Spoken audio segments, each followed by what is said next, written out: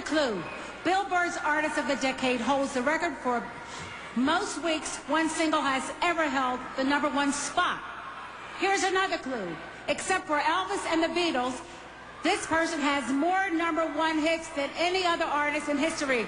This truly international artist who transcends all categories wrote their first single at age four, their first platinum album at age 18, and has gone platinum in 33 countries. And according to Hanes, has the best legs in the business. Woo! Here is a Billboard Artist of the Decade, my granddaughter, my goddaughter. She's my everything. She just called me and said, Godmother, help me. I don't have to help you. Miss Mariah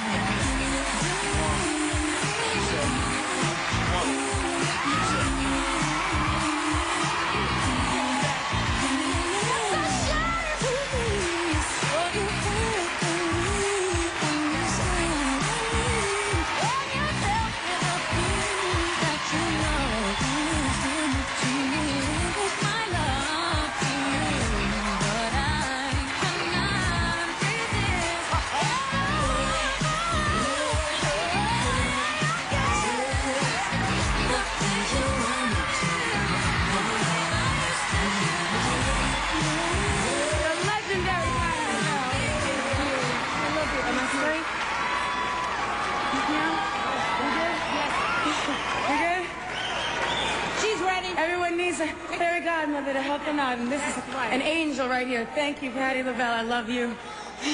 Thank you. Oh. Woo! Woo!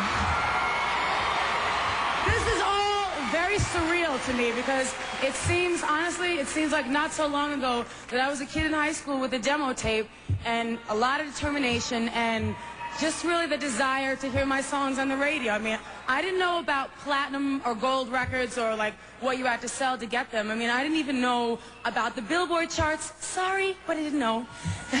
and then it all happened so fast and it's like my life became public. I lived in the recording studio writing and singing and that's how I made so many records in so little time, pretty much having no life. But I'd like to thank my mom for inspiring me and thank Don Ienner and all my Columbia Records family for so much support. And I'd like to thank all the amazingly dedicated Sony people around the world. And obviously, obviously, I have to thank Tommy Mottola for his support, specifically during the beginning of my career.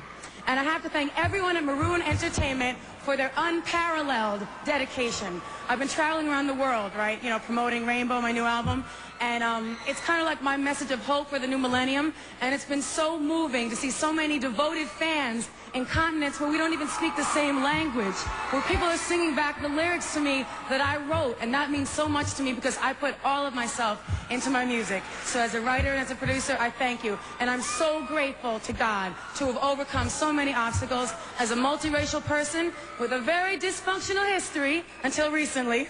I am not Cinderella. My life has not been a fairy tale. Forget the image, forget the ensembles, forget the rumors, forget the short skirts, big hair, whatever. I owe this to the fans, and I will never forget you.